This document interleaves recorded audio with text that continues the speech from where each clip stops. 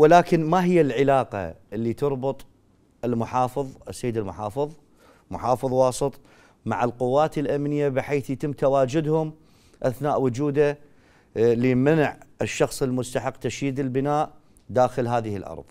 آه، أستاذ سؤالك بصراحة جدا مهم. نعم. ويصب في يعني في صميم الموضوع. نعم.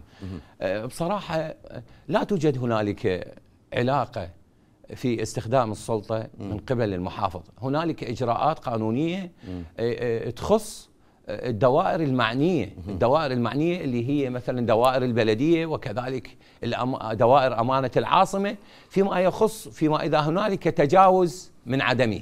نعم. هذا الموضوع واضح. ثم هنالك موضوع آخر اللي هو اللكن نعم. اللي اشرت إلى آني. نعم. إنه بأي حق يعني يتم منع المواطن من استخدام حقه في أرضه بأي حق.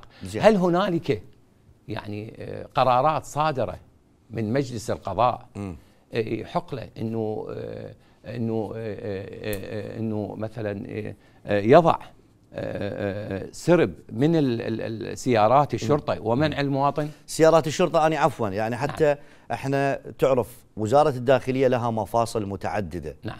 حتى لا نظلم العالم اولا وثانيا نحدد المسؤولية والأشخاص اللي يكونون متواجدين مع والله السيد المحافظ نعم.